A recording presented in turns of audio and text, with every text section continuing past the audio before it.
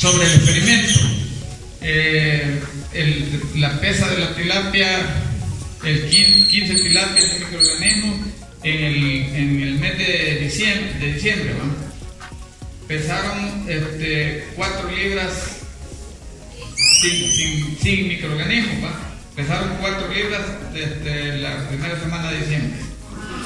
Y la tratada con microorganismos pesaron 5 libras. Se veía un despegue ya, este, ya en, la, producción. A 4 meses, el día, la tilapia cumplió 4 meses ya en los estanques el día 13 de, de enero. Hicimos la pesa. Entonces el, la- el estanque de la investigación de la, pesó de, la, de las tilapias .58 libras, o sea que pesó un poquito más de media libra cada tilapia. Entonces, y, este, y en las que no fueron tratadas sin microorganismos, pesaron .54 libras de microorganismos. Así estaba la tilapia ya, hoy el 13 de enero. Conclusiones. Mejor color del agua. Mejor color del agua. Los microorganismos limpiaron el agua sin recambios de agua. Quiero decirles que en, el- en los estanques, por un error, el, el dueño de los estanques, el productor, hizo un recambio de agua.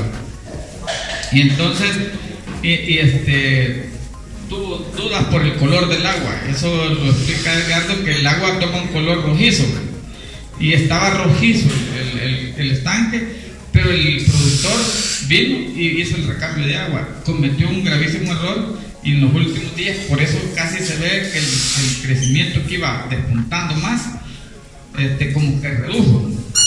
Y entonces, pero que el, el- el problema más serio que, que se dio es que la, la, ¿cómo le dijera? La tilapia, los estanques, el color del agua se vuelve, se quedó igual. Yo estaba midiendo el, pH del agua y quedó igual de los estanques. Todos están a 7. Entonces el- sucedió, sucedieron varios, varios factores en el, en, el, en el tema del agua, porque cuando ya era agua echada a los estanques de riego, este, el color cuando hizo el recambio quedó igual, todos. Entonces, eso creo que también quitó el crecimiento de la tilapia. Entonces, los, micro- los microorganismos limpiaron el agua sin recambio de agua.